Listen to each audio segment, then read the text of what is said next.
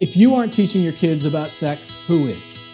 For 20 years, Peace has been empowering families to positively disciple and mentor their children on difficult cultural issues in education, such as sexuality.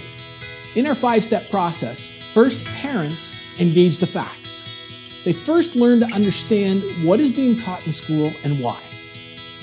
Next, the peaceful process. How to build positive relationship with their child's teacher so that when it comes time to discuss sensitive issues, they're openly accepted. Third, how to engage your child on the issue of human sexuality. And we have resources to help parents to become the trusted adult and the trusted source of information. And lastly, how to engage your school.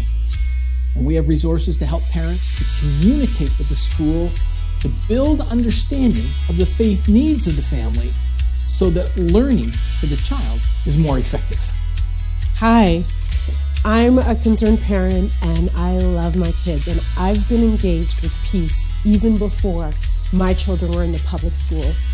When I transitioned my kids from private school to public school, although I had been engaged with peace for years, now it really became real. It really hit home. The first step of the peace process is to engage the facts. And I love the resources that Phil's created where you can literally look at your child's grade and say, okay, in this grade, the fact is my child is going to learn this in this specific lesson at this point of the year. And there is scientific research that shows the first thing that a child learns becomes their filter in that situation. So if I teach them first, then they're going to filter all other information. God cares about our schools. He cares about our teachers and they love our children. And we have to treat them as people who love our children and want to partner with us to create a positive future for the next generation.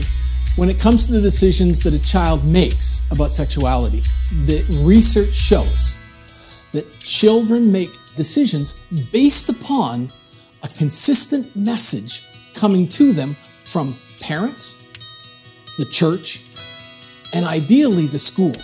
Peace has resources to help the church and to help parents to provide a consistent, biblically aligned message.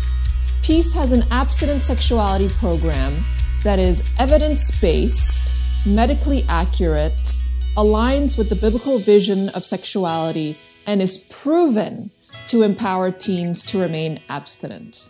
Peace Heritage instructors are certified.